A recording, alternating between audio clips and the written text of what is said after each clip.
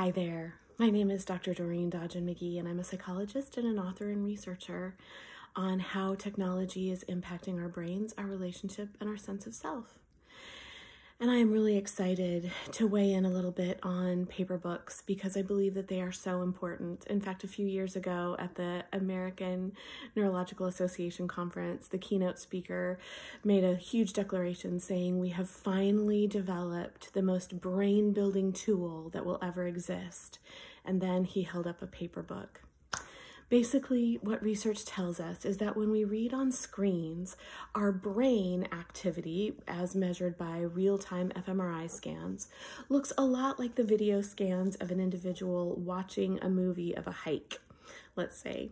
Yet when you take that same individual and look at their brain scan in real time when they're reading a paper book, their brain actually looks like the brain scan of an, of an individual who is going on a hike, who is navigating different sensory information and different information about the world around them, about the trail. There's wiring and firing in almost every region of the brain when an individual interacts with a paper book. And now more so than ever, as we become more and more accustomed to getting our information and doing our reading on screens,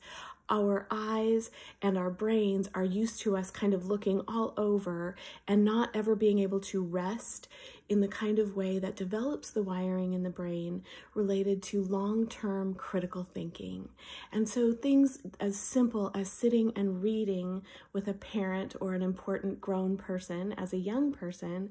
helps them begin to develop the ability to wait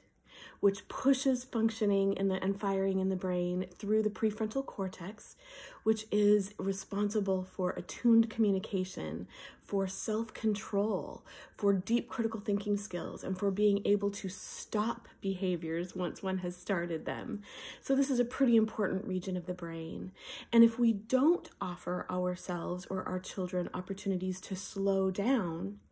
and to be forced to be somewhat slow with information, or what some people now call bored,